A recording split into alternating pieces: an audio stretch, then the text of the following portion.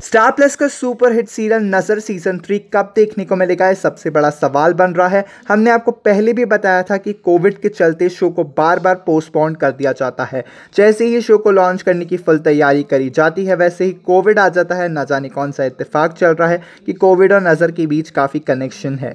ऐसे में अनकही दास्तान को लॉन्च किया गया था, जिसमें देखा यह जा रहा था कि नज़र के फैंस नज़र को कितनी टीआरपी दे सकते हैं। तो शो की टी वन से वन के बीच में देखने को मिली थी, जो कि काफ़ी अच्छी टीआरपी है।